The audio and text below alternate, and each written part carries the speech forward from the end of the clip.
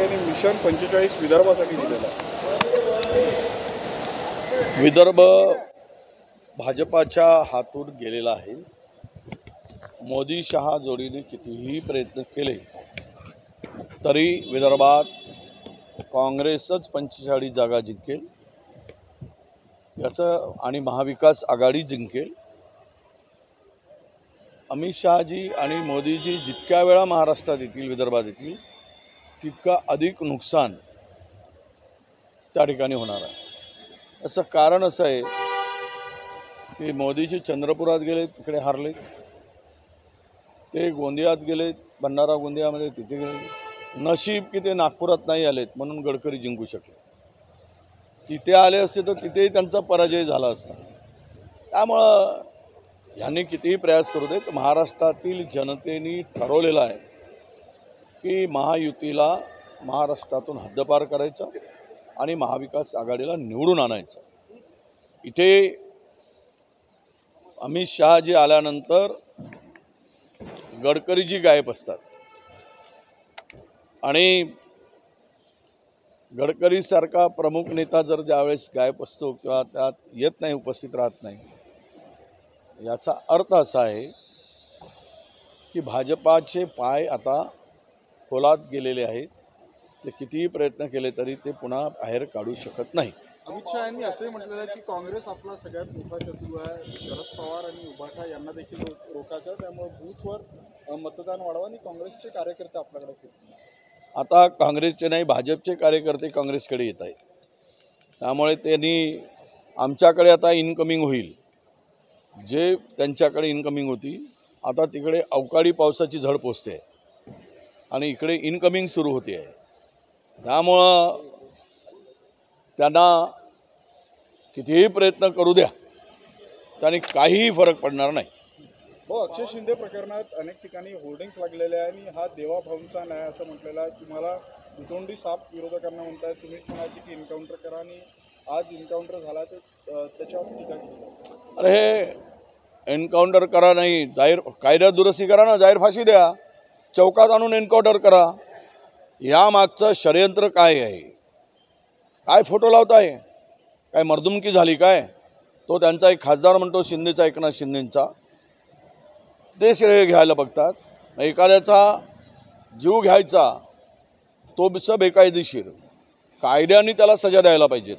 कायद्याने तो तो शिक्षेस पात्र ठरायला पाहिजे. हे सोडून ज्या पद्धतीनं एन्काउंटरची भाषा करत आहेत हे केवळ भाजपच्या आणि आर एस एसच्या लोकांना वाचवण्यासाठी त्याचा एन्काउंटर केला आहे हे काय मर्दुमकी केली नाही?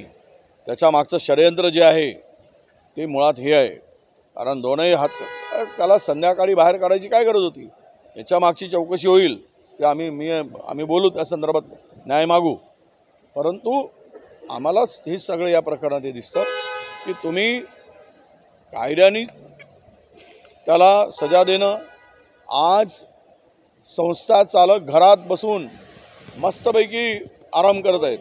आणि पोलीस सांगत आहेत की ते फरार आहेत. ते कोण आहेत? ते आर एस एस आणि भाजपची लोक आहेत. ती लोक आहेत. आहे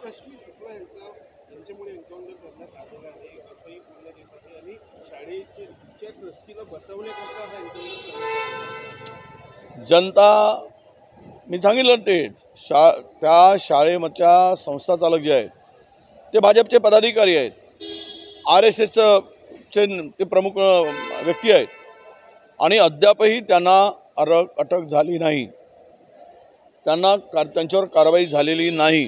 का केली नाही? माझा दावा आहे ते घरात बसून आहे पोलीस त्यांच्यापर्यंत जात नाही घरापर्यंत जात नाही चौकशी करत नाही अटक करत नाही. हेच ते प्रकरण पूर्ण दाबण्यासाठी हा षडयंत्र आहे हा रडीचा डाव आहे.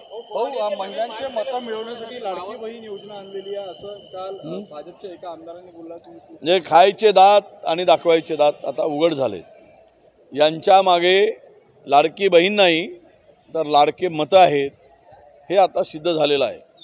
म्हणजे सत्ता सरकारी पैशाच्या तिजोरीतून जे लाडकी बहीणला काही देण्याचा आणि त्यामध्ये इव्हेंट करण्याचा यांनी जो काही प्रयोग केला माझी लाडकी बहीण माझी लाडकी बहीण माझी लाडकी बहीण नाही माझी लाडकी लाडका माझा मतदार आहे. मतदान मतदानासाठी केलेलं हे सगळं काम होतं. हे आत्ता त्यांच्या आमदारांच्या मुखातून स्पष्ट झालेलं आहे.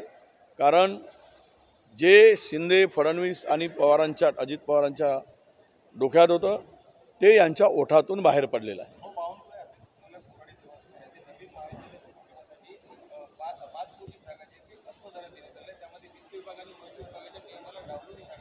नाही ते जमीन खाण्यामध्ये तर हे लोक हे फार वस्ताद आहे.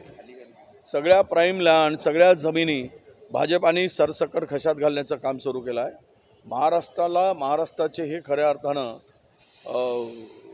जमीन लुटारू सरकार म्हणून यांची ओळख होणार आहे.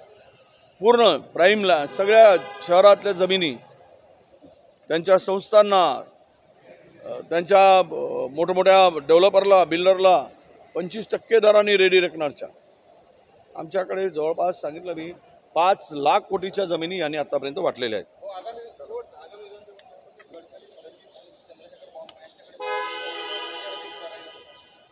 आता ते कोणाकडे राहील पण मला असं वाटतं की ते नागपुरांच्याकडे धुरा राहिली नागपूरच्या भाजपकडे तर आम्हाला आनंद आहे. त्यांच्याकडे धुरा दिली की मग आम्ही बिनधास्त राहणार. कारण लोकांनी नाकारलेली मंडळी त्या मतं घेऊ शकत नाहीत. कारण लोकांनी लोकसभेमध्ये विधानसभेमध्ये या लोकांना नाकारलेलं आहे.